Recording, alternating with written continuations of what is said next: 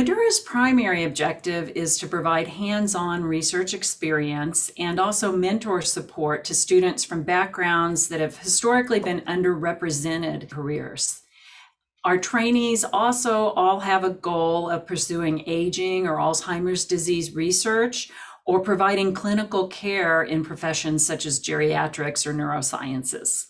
The Madura program is unique uh, and it's also practical because it addresses three key areas for our participating students. Uh, first, there's the research experience itself, and this provides an opportunity for each student to engage meaningfully in biomedical research. And this firsthand real world knowledge and experience is irreplaceable, and they serve to develop the interests of our students, but also provide a competitive advantage when our students apply for graduate and professional schools.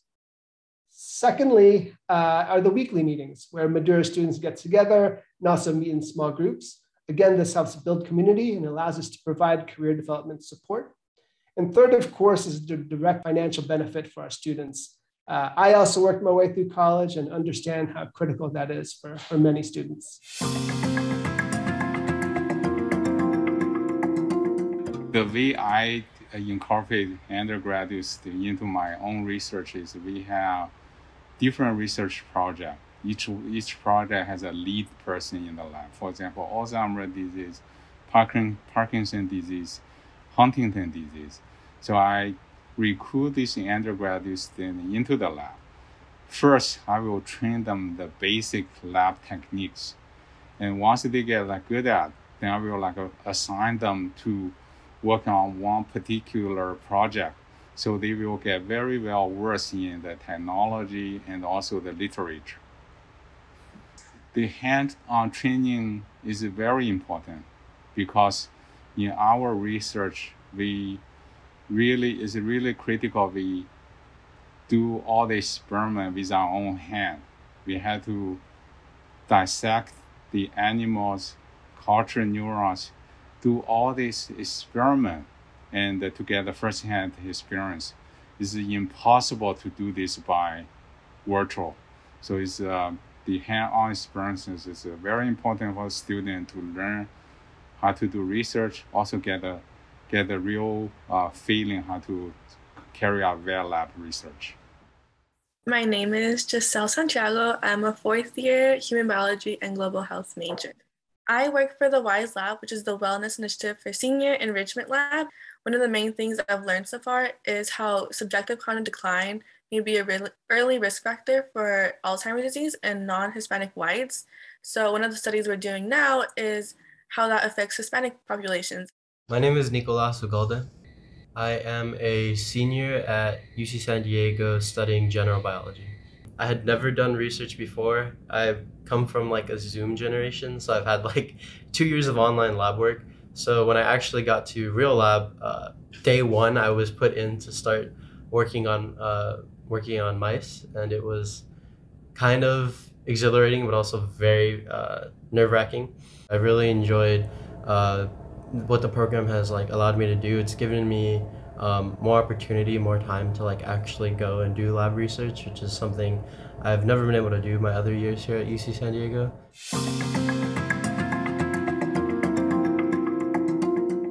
Within our small group, uh, we've been building a supportive community that helps make a large university like UCSD feel much smaller. And I think this is particularly helpful for students from underrepresented backgrounds or first generation students as they navigate through and try to get the most out of their undergraduate experience. What I'll take with me from the experience and after college would be the mentorships I've had with the mentors, as well as the connections I've made with other students in the program and the knowledge I've learned both from my placements. Mentorship has allowed me to kind of, uh, you know, understand the um, impact of it and how important it is, especially for those who don't have um, individuals, you know, in their circle and their family to kind of guide them. So I'm kind of filling that role of providing not only like a real life example, you know, kind of representation of what their potential could be, but also kind of hear them and validate a lot of their experiences and and feelings I realize how important it is to have like a personal connections to students. So it's not just kind of providing them information, but actually tapping into, uh, you know, their background, relating to them. My name is Luan Nguyen, and I'm currently at third year, and I'm majoring in public health with a pre-nursing interest. I want to be part of the Madura program because the program offers such an uh, excellent support platform for me, whether it's academic or career wise. Um, they often provide support for mental health, academic, career plans after college and more. Um, I found this very beneficial for me because um, as a first generation college student, um, I do not have anyone to rely on or ask for advice. I'm originally from Los Angeles. I actually grew up in an immigrant community in LA. And so I'm the first of my family to go to college. I'm a first generation college student. We're just very supportive. And it's honestly, it's a really good thing at a university where sometimes you're the minority. It's really good to come together and kind of have that sense of community, that sense of trust, that sense of we belong here, we belong here together, and we're here to support each other.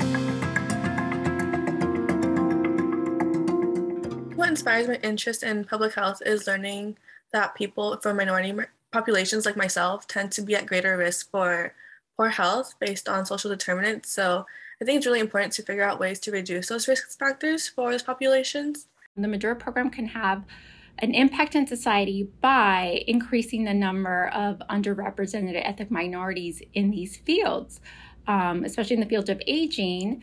Um, there's a lot of research indicating that certain ethnic groups are at higher risk for certain um, aging relating diseases and conditions. So it's really important to increase um, the number of scientists in these fields because when you have more scientists from those backgrounds, they're likely to do research on those communities.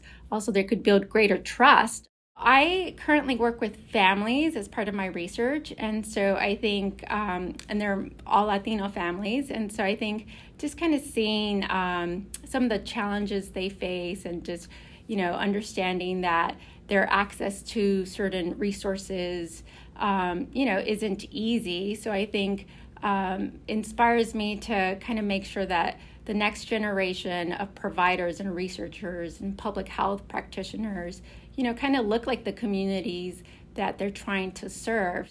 I'm currently working as a medical translator for um, Dr. Peavy in the Asian cohort for Alzheimer's disease.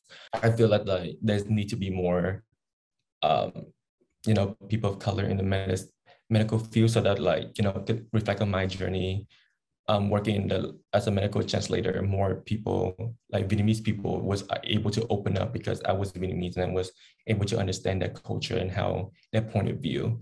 We address the needs of the students, but also uh, we are addressing the needs of researchers. Many, many types of research have been uh, overlooking populations that deserve to be represented in research studies. By having a more diverse population of research professionals, our hope too is that the quality and the nature of research on diseases such as Alzheimer's will improve, and we will be more inclusive of groups who have been too far overlooked. UCSD is uh, a unique place for a program like this because we have one of the largest neuroscience programs in the world and the School of Public Health. There's so many different opportunities for the Madura students to have placements and, uh, learn about futures in, in these areas. My name is Alfredo Castro. I'm the class of 2022, and my major is molecular and cell biology. Working in the lab with Dr. Wu has really changed what I thought I wanted to do in the future. I thought that I just wanted to go into the medical field and just be a doctor. But being doing doing research in the lab with Dr. Wu has really made me want to go out and maybe possibly start my own company and research and really focus on the aspects of aging such as Alzheimer's, Parkinson's disease, and Huntington's disease. Just because I feel like there's so much left to be done in that field. One day in the future, I, I hope to be a neurosurgeon. And then after that, I want to go into doing biomedical research. I hope, arguably, maybe, to one day have my own research institute. One of the most exciting things about Madura to me is that it's so energizing to meet with these students, to see their enthusiasm and their dedication and their mission really to improve the world and and the lives of people in their communities and across the board. So that's very very fulfilling. But what is even more exciting to me is knowing that these students are going to go into professions and have careers where they're going to touch many, many more lives.